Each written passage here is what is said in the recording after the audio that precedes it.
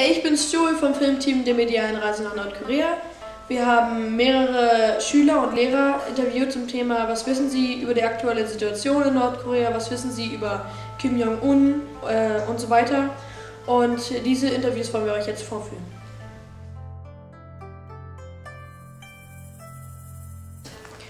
Ähm, ein, eine interessante Situation, denke ich, ein interessantes Land. Wie meinen Sie interessant? Ähm, in dem Sinne, dass äh, wir ich, also ich bin jetzt nicht sehr bewandert im Gebiet von Nordkorea, aber ich denke, ich meine, ihr wisst ja nicht so super genau Bescheid, was da jetzt im Land so für die, für die Leute, die dort wohnen, abgeht. Wir kennen ja das ganze äh, Politikergehabe mit Kim Jong-un da und ähm, was die halt so zeigen, aber wie jetzt die Menschen dort richtig leben, das sieht man eher weniger. Ein stark isoliertes äh, Land, dessen Einwohner einem leid tun können. Was meinen Sie mit Leitung? Naja, das, sind, äh, das ist ein Land mit einem völlig verrückten Herrscher. Äh, die Leute hungern, gleichzeitig wird ein Atomprogramm gemacht. Ähm, das Ganze wird nur zusammengehalten durch einen extrem intensiven ähm, Geheimdienstapparat und ein riesiges Militär. Ein Land, was in zwei geteilt wurde, nämlich in Nord- und Südkorea. kommunistisch. Korea ist ein von einer sehr stark äh, ge- ein, ein sehr von einer sehr stark, ähm, äh, starken Hand geführtes Land.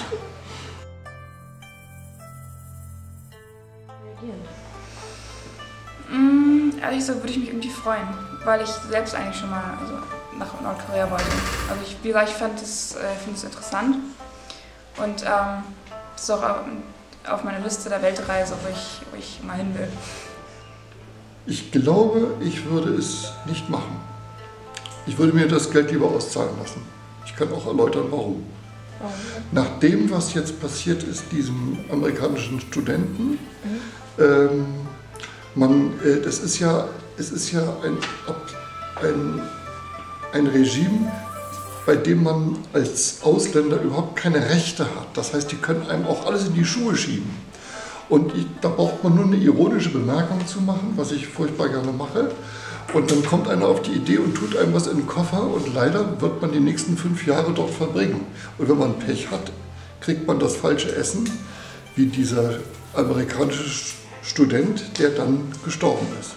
Also ich glaube einfach, dass mir auch Nordkorea nicht allzu viel zu bieten hätte. Deswegen würde ich es wahrscheinlich ablehnen. Ich würde mich sehr freuen, weil ich war noch nie in Nordkorea und ich weiß nicht, wie es dort ist. Es wird sehr schön sein dort, glaube ich. Und sehr spannend und nette Menschen. Ich müsste zuerst mal länger überlegen, ob ich darauf wirklich hinfahren möchte, weil Nordkorea ist auch ein ziemlich gefährlicher Staat. Was meinen Sie mit gefährlich? Zum Beispiel gab es ja auch vor kurzem die Geschichte mit einem amerikanischen Studenten, der heißt Otto Warmbier.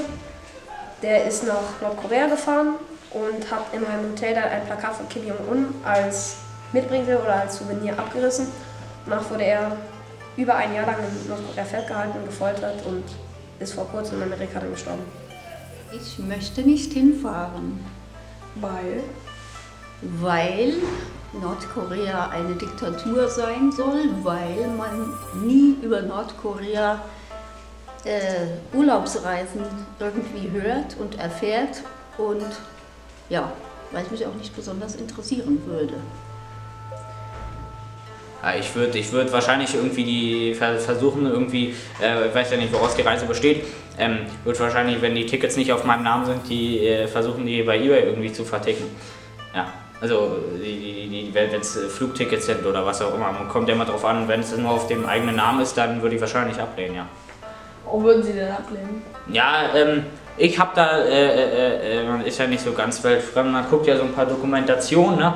Ähm, äh, und äh, Nordkorea ist halt nicht so das, äh, nicht so das äh, schönste Land, um dorthin zu fliegen. Also es ist relativ, ähm, es ist vom, vom Aussehen, also natürlich wird in Dokumentationen ist immer leicht prätentiös, ähm, wird da berichtet und immer so ein bisschen so, ja, alles total schlimm, aber irgendwie ähm, ist es da nicht, äh, also ich würde, ist es mir auch in meiner Heimatstadt schon lieber, als es ist relativ ähm, grau und, und bebaut, da gibt es ja halt nichts Schönes. Also Im Urlaub würde ich fliegen äh, oder fahren oder was auch immer, äh, damit es mir gut geht und nicht in irgendeiner dummen Stadt rumzuhängen oder was auch immer. Okay.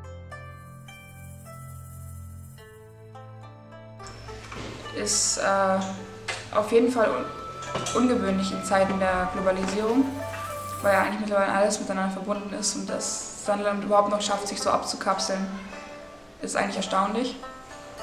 Ähm, und ich finde halt den Gedanken krass, dass äh, die Kinder so Technologie, sowas wie irgendwelche Handys, also das kennen die alles gar nicht. Das ist ja was total Neues für die. Deswegen. Gar nichts, politisch sehr gefährlich, sehr schlecht. Äh, davon halte ich überhaupt nichts. Aber äh, Nordkorea macht einen Atomtest nach dem anderen. Äh, die betragen auch nicht gerade zur Verständigung bei. Und beschweren sich, wenn die Amerikaner Manöver machen. Na, nichts halte ich davon. Ähm, aber es geht auch nicht anders. Wenn die wüssten, wie es woanders auf der Welt zugehen würde, dann könnten sie das ja nicht aushalten. Ja? Ich finde es nicht besonders gut, weil Nordkorea ist für sich im Grunde eine eigene Welt. Und das ist auch besonders politisch, wenn man jetzt über Demokratie sprechen möchte, ziemlich schwer und das gefährdet auch es gibt immer auch wieder Warnungen von Atombomben oder Atombombentests, das ist ziemlich gefährlich, weil man dann in dem Fall nicht mit Nordkorea kooperieren kann. Weiß ich ehrlich gesagt nicht so genau.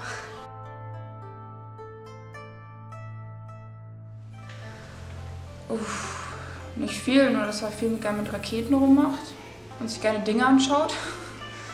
Äh, ich weiß nicht. Also nicht viel offen gestanden. Eigentlich äh, nur, dass er ein, halt ein Despot ist, dass er. War das der, der ähm, ein General, der eingeschlafen war bei einer Sitzung, vor eine Flak hat spannen lassen? Das ist doch mal eine Strafe, die sich einprägt. Mao hat gesagt, bestrafe einen, erziehe tausend. Ja, das macht Kim Jong-un auch auf seine sehr eigene Art? Dass er der Sohn und der Enkel, also dass er der Sohn des früheren Diktators war, der hieß Kim Jong-il und der wiederum war der Sohn vom ersten Diktator Nordkoreas und der hieß Kim Il-sung. Ich kenne die Person nicht. Äh, Kim Jong-un, das weiß ich äh, von dem, der ähm, sieht witzig aus, also äh, amü amüsantes Gesicht, also wenn ich den ähm, im Fernsehen sehe. Ähm, ja, aber ich weiß nicht viel über den. Er äh, äh, äh, redet immer in relativ ähm, so, ja, der, der, der, wie sagt man so, na, über, überschwinglich redet er. Ähm, deshalb äh, kenne ich halt nur diese, diese, diese Oberfläche, halt der, der, der, der kleine, kleine fette Herrscher, der irgendwie da immer rum, rumposaunt, wie, wie toll alles ist.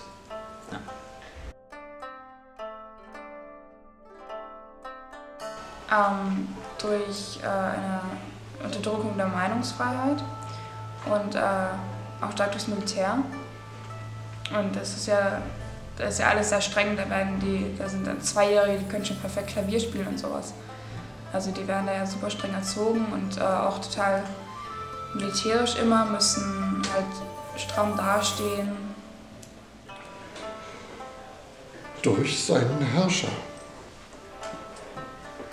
Ich würde sagen, durch sein eigenes Regime, durch die eigenen Machthaber und durch die Phalanx, die insgesamt gegen kommunistische Länder sich aufgestellt hat. Weiß ich ehrlich gesagt nicht so genau. Okay. Die Staatsmacht. Die Staatsgewalt, weiß ich nicht.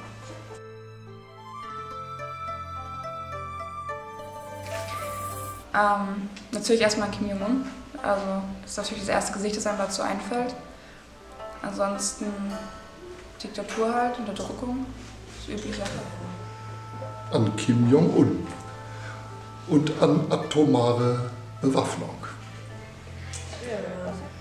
Ähm, an die, an die, an die ganze äh, Nachrichtendings hier mit dem, mit dem, mit dem Kim Jong-un oder wie der Typ heißt. So. Also diese ganze, es war ja so eine ganze, ganze Familie da, die da äh, äh seit Generationen da regiert.